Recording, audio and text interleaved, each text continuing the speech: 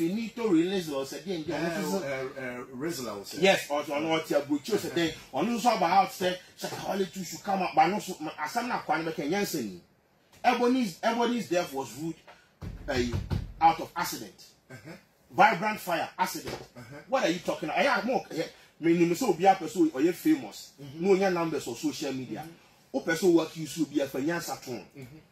These two artists are who attached their death to Shatawale. They got accident and died. Mm-hmm. What are you talking about? Unless you, you operate in the spiritual realm, who said Shatawale was the one on Ebony in death. Was it not uh, road almost as a speed round would be said? Yeah. two pàtàkì náà ṣàkàwálé ní ọkọ̀ dáhọ̀ dáná who speed drama. That one is different. Mm -hmm. But ó di asẹ́mu wẹ́ẹ́ about sáà kwan ẹ̀ nínú sẹ́ ọ̀nù díẹ̀ ọ̀nù attention ọ̀pẹ. Because it doesn't make sense. Mm -hmm. These two artists that you are saying, say Shatawale has something to do with their death, or and um, Shatawale should come out. They got accident and died. May their souls rest in perfect peace. You don't have a case. That assertion is flawed. So you should shut up.